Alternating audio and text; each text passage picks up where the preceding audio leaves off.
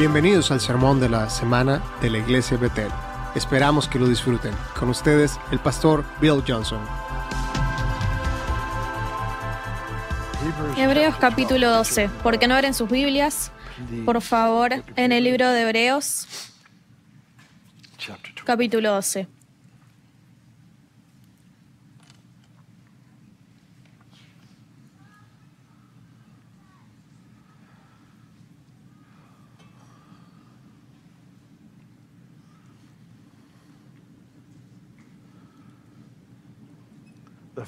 Las cinco personas más aterradoras que conocí en mi vida, las personas más aterradoras eran todas amargas.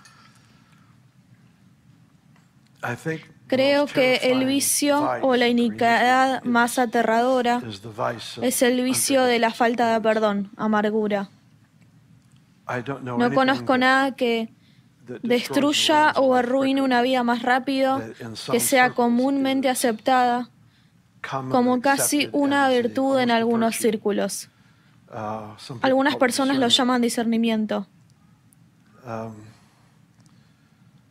Para el amargo, la amargura siempre es justificable.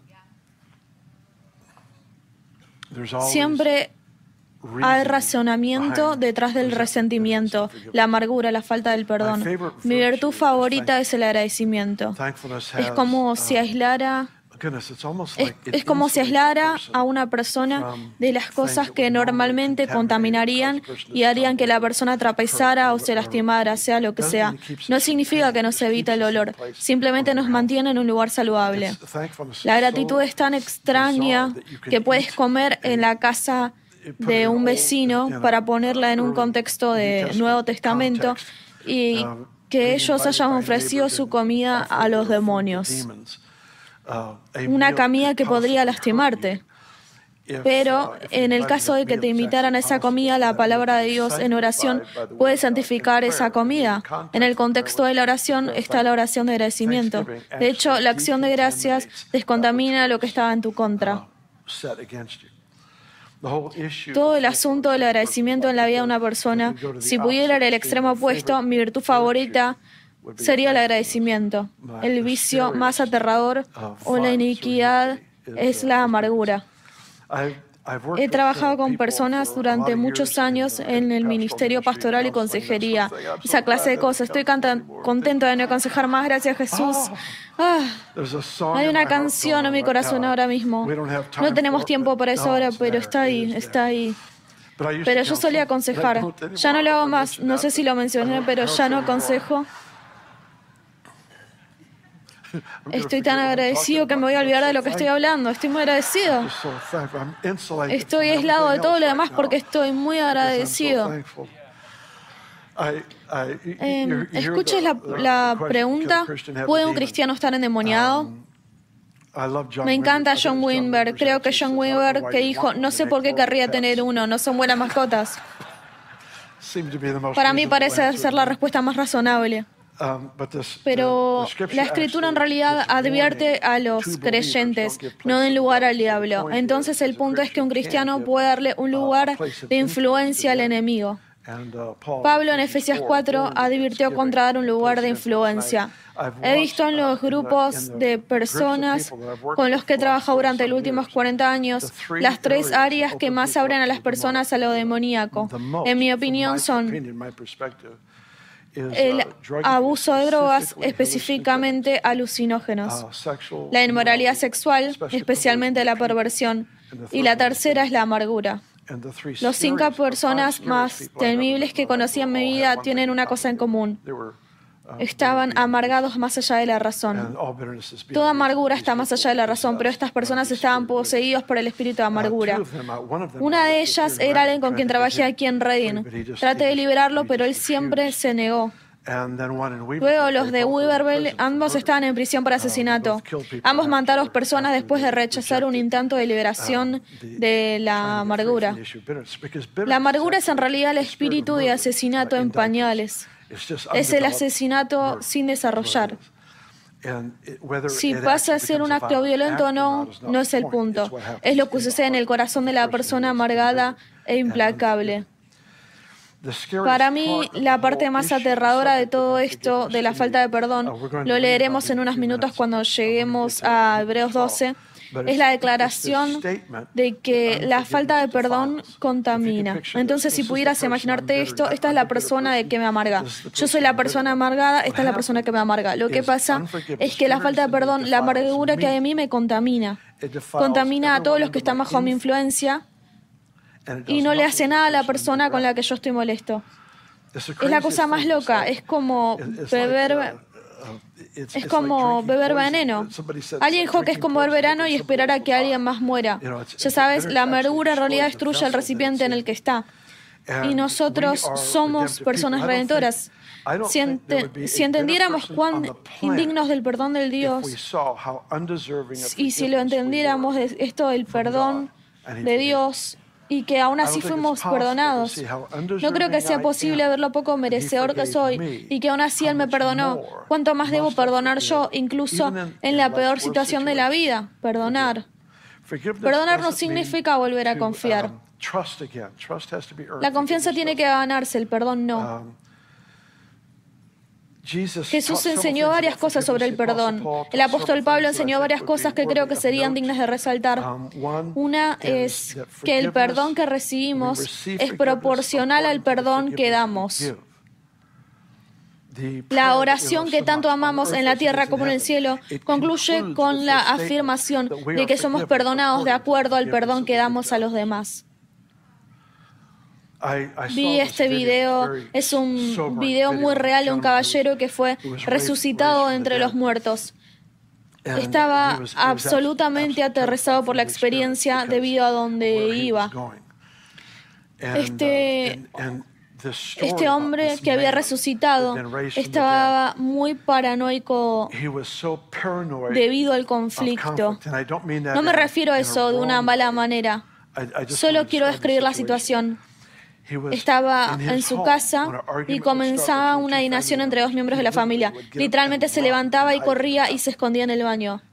Se escondía porque veía el efecto de la amargura en la eternidad y le aterrizaba tanto que, se que corría y se escondía. Sin embargo, la amargura es algo que las personas intervienen en todo el tiempo. De hecho, se ha empoderado acentuado, enfatizado en el clima de conflicto político en el que vivimos en este momento. Creo que, ya sabes, decimos que Dios no es republicano, demócrata, libertario, independiente o socialista. Rellena los espacios en blancos con lo que quieras. Lo entiendo, Él no lo es. Um, La pregunta no es de qué lado está Dios. La pregunta es, ¿estamos de su lado? Porque hay cosas que él desprecia y ama. Uh, Mike Bickle uh, hizo la mejor declaración para ayudarme a entender mucho de esto. Él dijo, la era de Dios siempre está dirigida a todo lo que interfiera con el amor. La escritura dice que podemos estar enojados y no pecar. Entonces la noción de que el cristiano viene a un lugar donde no hay emoción, eso es budismo, eso no es cristianismo. Eso es Spock en Star Wars. No quiero ser como Spock en Star Wars. ¿Quién? Star Trek, Star Trek. Gracias. ¿Sabes lo que quise decir? Spock en Star Trek. Sí. Todos son iguales. Lo siento. Perdón. Créeme. Eh, perdón. Perdón. Créeme, he cometido muchos errores peores a la hora de películas. Tiendo a olvidármelas. Me siento en United Airlines y enciendo la pantalla para una película. Si aguanto cinco minutos es casi un milagro. oh, estúpida película. La cambio. Esta no va a ninguna parte. La cambio. No importa. Va muy bien. Así que Spock en Star Trek. Lo tengo. Muy bien. Las escrituras dicen, enójate, pero no peques. La emoción de la ira es natural. Si, te, si no te enojan ciertas situaciones que surgen en tu vida o en la sociedad y la cultura, algo está mal en ti. Simplemente no puedes llevarte al pecado. No puede llevarte el resentimiento, no puede llevarte la amargura, no puede llevar a la autopromoción, la reivindicación, a las represalias. Estar enojado es una señal de que estás vivo. Si ves o maltratando a un niño y no te enojas, entonces estás muerto. Hay algo realmente incorrecto, porque se supone que eso debe provocarte ira. Pero también parece que nos ubica en un lugar donde nos convertimos en soluciones redentoras. Soluciones redentoras. Mira, si estoy amargado, mi volumen aumenta, pero mi influencia disminuye. Las personas amargadas pierden la confianza rápidamente. Porque todos en la sociedad y en la cultura buscan personas en quienes confiar. Votamos por este político, elegimos esta medida, nos mudamos a este barrio, escribimos a nuestros hijos en esta escuela. Siempre es un problema tratar de encontrar dónde podemos depositar nuestra confianza. Las personas amargas no son dignas de confianza. Entonces Dios dice, enójate, pero no peques.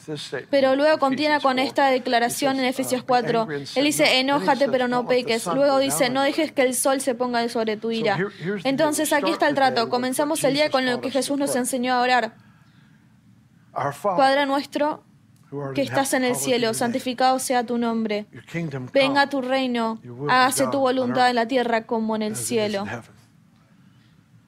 Danos hoy nuestro pan de cada día. Perdona nuestras deudas como nosotros perdonamos a nuestros deudores. ¿Qué es? Al comienzo de mi día he decidido vivir de manera redentora y antes de que pequen contra mí estoy dispuesto a perdonar. Es el compromiso de que voy a vivir la vida como una persona que perdona. No significa que el abuso sea incorrecto, no significa mentir, robar o nada de lo que puedan hacernos a ti o a mí. No significa que esté bien, no significa que las cosas estén bien, simplemente significa que no voy a ser controlado por los pecados de otra persona. No voy a dejar que el espíritu de amargura dicte mis pensamientos y mis sentimientos. Me elevaré por encima de estas circunstancias porque voy a contribuir con la sociedad.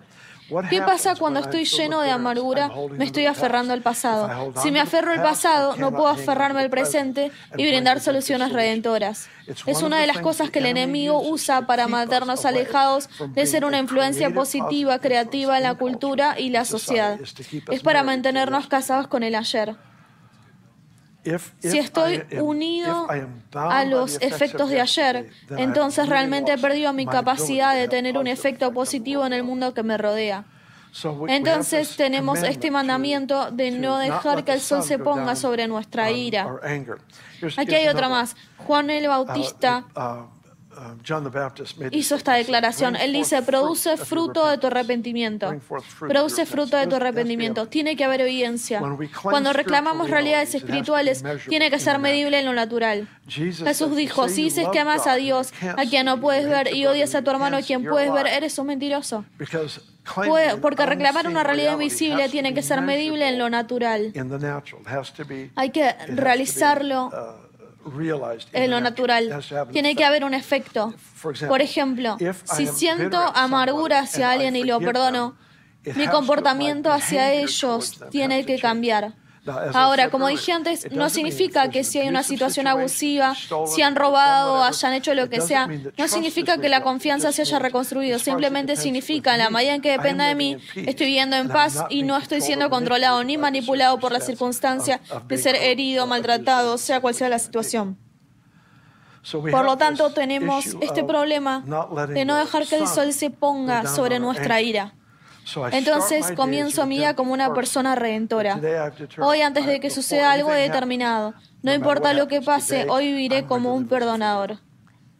Voy a vivir como un perdonador, voy a liberar a la gente, me niego a estar atado por la amargura a través de las acciones de las personas, número uno. Pero luego me aseguraré de que al final del día no deje que el sol se ponga en mi ira.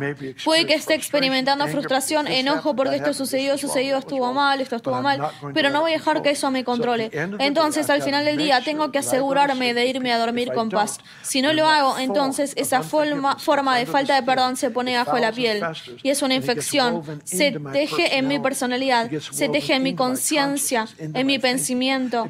Se convierte en parte de la tela de quién soy. Cuanto más tiempo lo dejo allí, más empieza a definirme. Jesús quiere que tengamos todos los días un nuevo comienzo donde nos convertimos en verdaderos contribuyentes a la sociedad. No podemos hacer eco bajo la influencia de la amargura. Recuerdo que hace años estaba aconsejando a alguien. ¿Te, he mencionado que ya no aconsejo? Oh. Cantemos una canción ahora mismo de agradecimiento al Señor. Hay una canción en mi corazón, quiero que sepas eso ahora. Estoy experimentando gran alegría, de todas formas. Estaba sentado con esta pareja en consejería hace mucho tiempo. Ella estaba enojada porque él había hecho algo 10 años antes. Son muchos los soles que se pusieron en esa ira. Uh, y son amigos, entonces estamos hablando. Y me enteré que ella ha estado llevando esto durante años. Y yo dije, bien, entonces le miré y le dije, ¿alguna vez te arrepentiste, te arrepentiste por lo que hiciste? Él dijo, sí. Uh, yo dije, bueno, ¿dónde está la evidencia? Ahora, eso no fue una acusación. Suena un poco duro, pero fue solo una conversación. Porque la escritura dice, produzcan fruto de su arrepentimiento. Si su decisión interna no afecta su comportamiento, no tiene pruebas de que haya perdonado. ¿Se entiende? Si no afecta al comportamiento, entonces es solo una filosofía. Él no nos llamó una filosofía del perdón. Él nos llamó un estilo de vida de perdón. Tiene que ser probado a través de la acción. Entonces dije, ¿tienes alguna evidencia? Él dijo, no, yo no. Yo dije, está bien, reunámonos de nuevo la próxima semana y solo tráeme algo de evidencia. Um, Así que pasó una semana, se sentaron, la miré y yo dije, ¿hay alguna evidencia? Ella va, no. Lo mira él y le dije, ¿tenés alguna evidencia? Sí. Él comenzó a hacer esta lista y sus ojos se abrieron. Y ella se dio cuenta de que ella se había convertido en el problema. Él lo causó, pero debido a la amargura, ella lo extendió. ¿Tiene sentido? Déjame reformular esto. Su amargura la cegó a la realidad de su arrepentimiento. Mira, la amargura distorsiona la vista, la perspectiva, la distorsiona, envenena cómo vemos no solo la situación o la persona que nos ha hecho daño, sino la vida en general. La vida en general se interpreta a mi historia de dolor a través de mi historia de dolor. Entonces ahora estoy incluso, incluso si no estoy sin perdonar, si me aferro a estas cosas, a estos problemas de dolor en el pasado, si me aferro a ellos, incluso si no soy una persona amargada, todavía dan forma a cómo veo las situaciones actuales. Y para que seamos instantáneos en la temporada, fuera de ella, para que podamos ser relativamente funcionales en cualquier situación, significa que ayer no puede tener una influencia duradera en mi vida, excepto por lo que Jesús ha hecho. De vuelta a la historia, entonces dije, ¿tienes alguna evidencia? Uh, él dice, sí, él comenzó a hacer una lista y ella se dio cuenta de que tenía razón. Él tenía evidencia de su perdón. El punto es, cuando perdonas a alguien, Abrazar la filosofía de ser un perdonador no va a solucionar el problema. Pero cuando hay acciones medibles, tal vez es que te tomas un día para ayunar y orar por esa persona. Tal vez haces una llamada telefónica. Recuerdo hacer llamadas telefónicas específicas a personas que realmente me habían lastimado los llamaría para bendecirlos o para honrarlos o de alguna manera servirlos. Y me dolía tanto por dentro, pero lo único que dolía era la parte que se suponía que estaba muerta, entonces no era un gran problema. No protejas lo que debería estar muerto. Somételo a la obediencia de Cristo. Someterlo a la obediencia, a las acciones de obediencia. Entonces aquí está el trato. Si perdono a este individuo, entonces necesito algunos cambios de comportamiento. Digamos que fui avisado hace 20 años. Están muertos. Bueno, no puedo hacer nada por ellos ni para ellos, pero ¿sabes qué puedo hacer? Yo podría orar por la bendición de Dios sobre sus descendientes. De alguna manera poner en una acción. Tal vez esa persona vive al otro lado planeta. Pero usted se presenta ante el Señor y dice, Dios, sé que no merezco tu perdón y me perdonaste. Te pido que le des esa misma misericordia a este individuo que me lastimó. Lo que he traído a mi vida como disciplina regular en los últimos meses y un año más o menos es que a Ben y a mí nos gusta tomar comunión muy a menudo. Ya lo he llegado a través de esto, al menos muchos de ustedes en parte, pero nos gusta tomar comunión a menudo, casi todos los días. De hecho, la tomé esta mañana. Eric y yo venimos temprano a la mañana de 5 a 5 y media AM para venir y orar, para estar listos para el día. Entonces me gusta traer la comunión conmigo para que pueda orar. Lo que hago es orar por cada miembro de mi familia.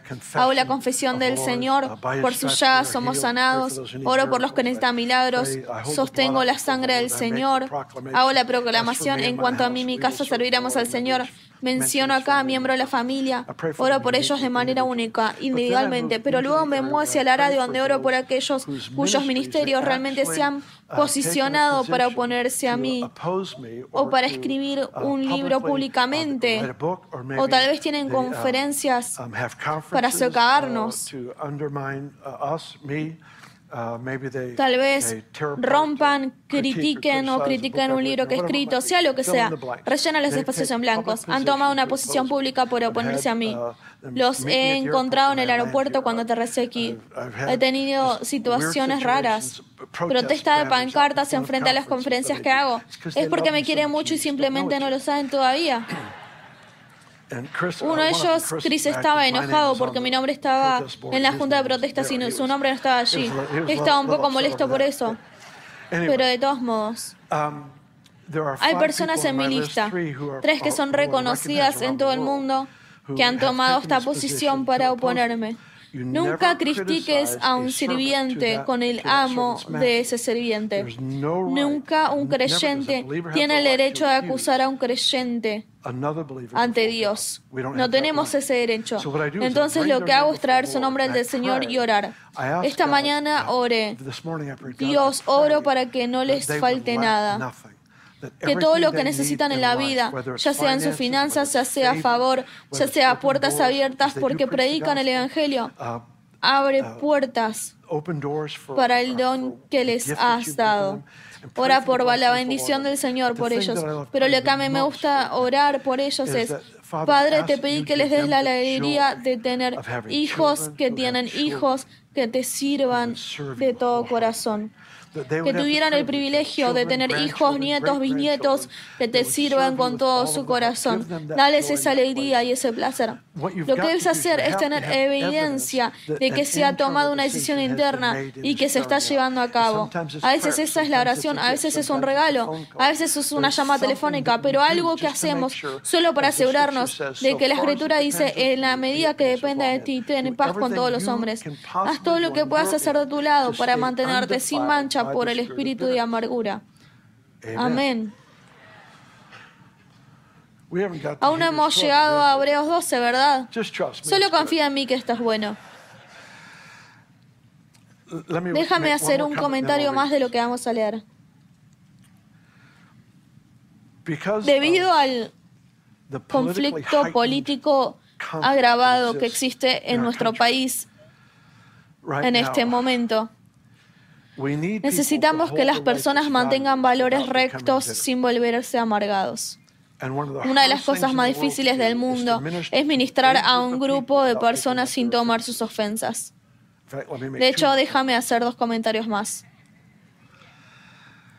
Es desafiante, escucha cuidadosamente. Es muy difícil entregarte a un grupo de personas sin captar sus ofensas. Por ejemplo, es muy difícil ministrar a los pobres sin ofenderse con los ricos. Es muy difícil ministrar a los ricos y no sentirse ofendido con aquellos que no trabajan. Es muy difícil ministrar a los niños y no sentirse ofendido con los adultos que no dan prioridad a la vida de un niño. Es difícil ministrar a los adultos y no ser ofendido por una generación más joven que no les muestra respeto. Es difícil ministrar en una carrera sin ser ofendido por otra carrera. La lista sigue y sigue y sigue. A veces los ministerios de las personas se definen por lo que se ofenden en lugar del ministerio real del Evangelio. Creo que a Dios le importan los problemas que están en juego en cualquiera de las naciones representadas en este lugar. Él no tiene opiniones. Él tiene la razón.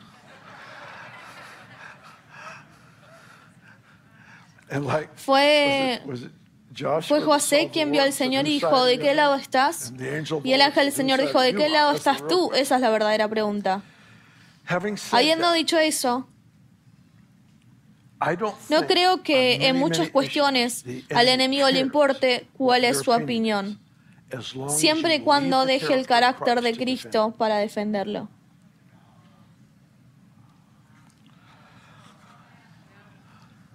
En muchas áreas de nuestra vida no creo que al diablo le importe en lo más mínimo cuáles son tus convicciones con respecto a un problema, siempre y cuando abandones el carácter de Cristo para defenderlo.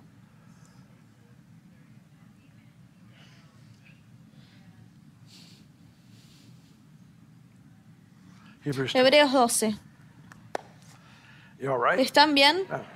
Casi tenemos que terminar y finalmente estoy llegando a la Biblia. Ups. Muy bien, versículo 12. Hebreos 12, versículo 12. Por lo tanto, renueve la fuerza de sus manos cansadas y sus rodillas debilitadas y hagan sendas derechas para sus pies para que la pierna coja no se disloque, sino que se sane. Busquen la paz con todos. Me encanta eso. Y la santidad, sin la cual nadie verá al Señor. Tengo esa frase subrayada. Asegúrense de que nadie deje de alcanzar la gracia de Dios, de que ninguna raíz amarga brote y cause dificultades y corrompa a muchos, y de que nadie sea inmoral ni profano como Esaú quien por un solo plato de comida vendió sus derechos de hijo mayor, porque sabes que después cuando quiso heredar la bendición, fue rechazado, porque no encontró lugar para el arrepentimiento, aunque lo buscó diligentemente con lágrimas. No se salten los pasajes confrontables de las escrituras, no los salten. No solo lean los versículos que los hacen sentir como el rey de la tierra. Lean las cosas que cortan profundamente porque las necesitamos. El temor de Dios es una gran parte de nuestro caminar con Cristo. Uh, Esto es parte de ello. Versículo 15. Asegúrense de que nadie deje alcanzar la gracia de Dios, de que ninguna raíz amarga brote y causa dificultades y corrompa a muchos. Esta frase sobre la amargura y la profanación de muchos ha sido una frase que ha estado en mi mente durante varias semanas. He estado esperando el día de hoy. Feliz día de acción de gracias, por cierto. Estoy agradecido. Estoy agradecido, pero estará más agradecido si no estás amargado, ¿sabes?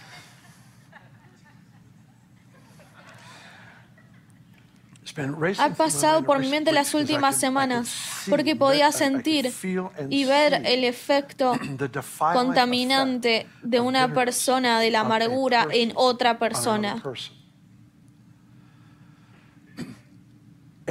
Y donde el Señor nos está llevando es más profundo en los lugares de servicio, de amor, de cuidado, de influencia. Pero no podemos sobrevivir si no sabemos cómo resistirnos a recibir las ofensas de las personas que amamos y cuidamos.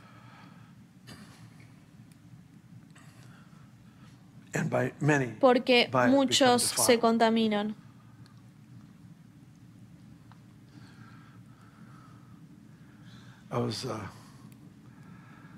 Estaba hablando con unos amigos míos hace dos semanas. Pudimos pasar un tiempo juntos. Tenían un tipo de reunión de cumpleaños o fiesta. Me olvido de lo que era ahora. Uh, Algo en la comida no sabía nada bien. Todo el mundo simplemente siguió adelante y se lo cambió aunque no sabía bien. Entonces los golpeó. Todos tenían intoxicación por la comida. Todos menos dos personas. Todos los que comieron eso tenían intoxicación por la comida. Uh, Muchos fueron contaminados.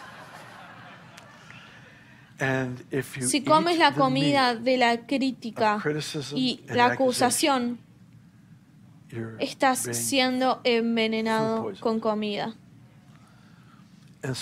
Si pudiera orar una cosa por hoy, sería que estuviéramos ridículamente agradecidos o nos hiciéramos alérgicos a la amargura.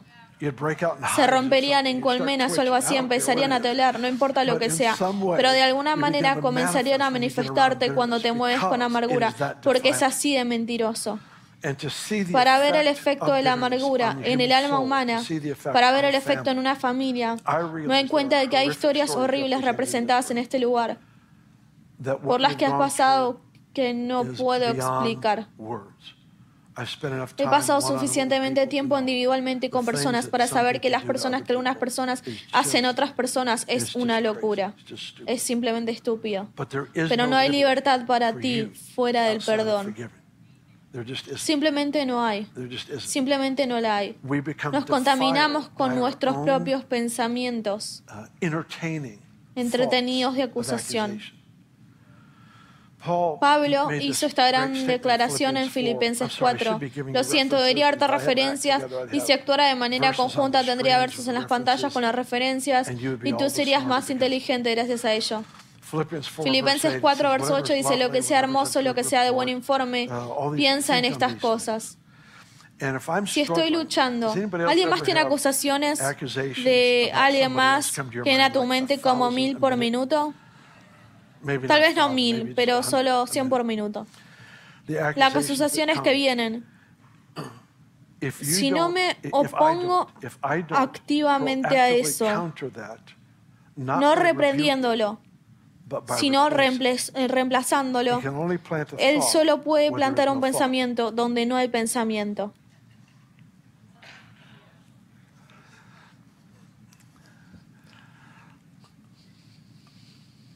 Tengo personas que realmente han afectado mi vida de una manera no positiva. Sin embargo, sé que tienen una relación con el Señor. Lo que he tenido que hacer es llegar al lugar donde realmente temo a Cristo en ellos, para que les muestre el respeto. Jesús los ha redimido, Él ha cambiado su vida, Él ha perdonado. No son perfectos, pero yo tampoco. No nos llevamos bien, algo pasa. Esos pensamientos bombardean la mente. Si no puedo obtener la victoria de esa manera, orando agresivamente por ellos, no contra ellos. Entonces solo dirigió mi atención a mi esposa, porque ella lo es todo en, Filipenses 4, versículo 8. Ella es adorable, ella es de buen informe, ella es todas las cosas enumeradas. Entonces solo pienso en ella y, y soy libre en ese momento. Uh, Estoy bien, lo que sea que funcione. Puedes pensar en mi esposa también, adelante.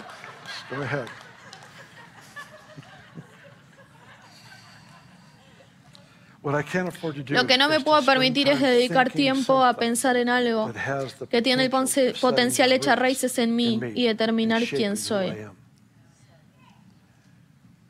Escúchame. Los pensamientos amargados no están bien. No están bien. Porque es lo que procede del encarcelamiento a algo que nos destruye. Digo esto porque me preocupa lo que oigo y veo. Me tomé un tiempo para reflexionar sobre cuando crecí viendo lo que sucedió con las personas que traté de ayudar a los abogados que fueron a matar a alguien. Solo cosas locas.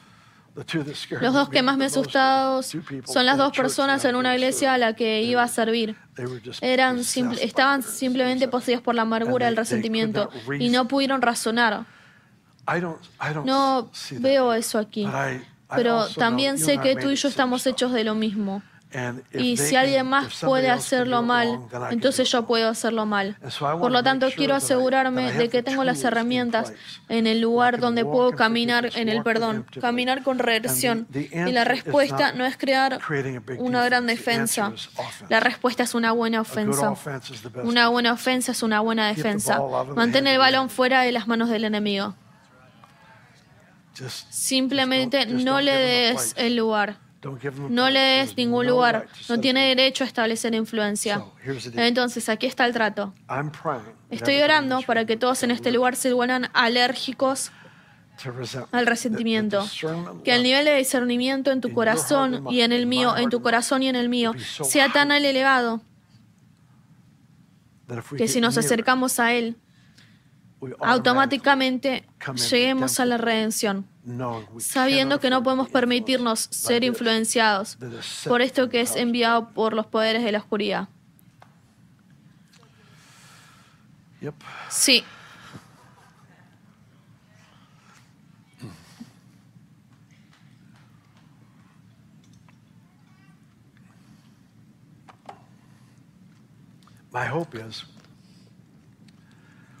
Mi esperanza es...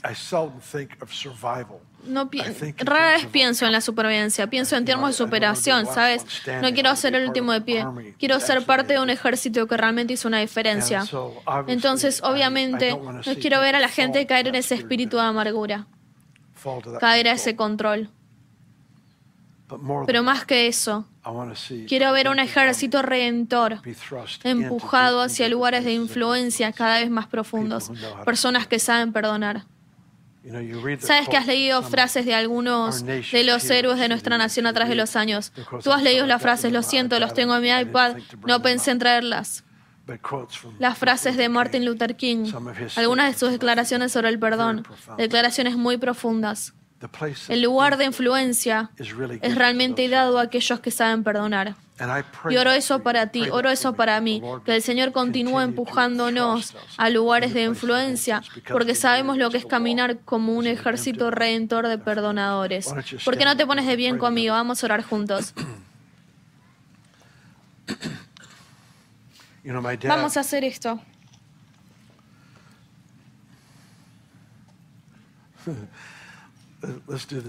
Vamos a hacer esto. Vamos a suponer que nadie aquí está amargado con nadie. Amén. Amén. Nadie. Pero si lo estuvieras, ¿viene alguien a tu mente? Oh, eso es tan divertido. No, no, nadie, nadie. Nadie.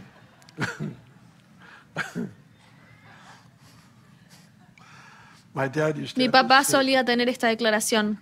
Él dijo, cuando le lavas los pies a otra persona, descubres por qué caminan como lo hacen.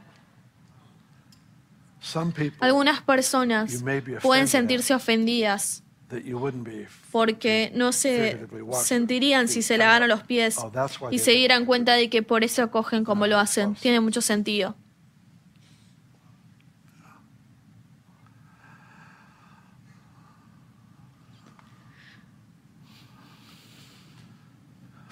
Padre, haznos alérgicos.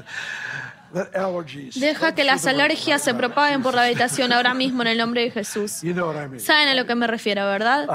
Yo oro, Señor, oro por una gracia para vivir de manera redentora a un nivel que está más allá de lo que hemos conocido. Has levantado el velo, por así decirlo. Nos ha dejado tener lugares de influencia para servir y para amar bien. Solo pido, Dios, danos discernimiento. Danos una gracia en cada entorno. Poder ser una influencia del perdón. En el nombre de Jesús.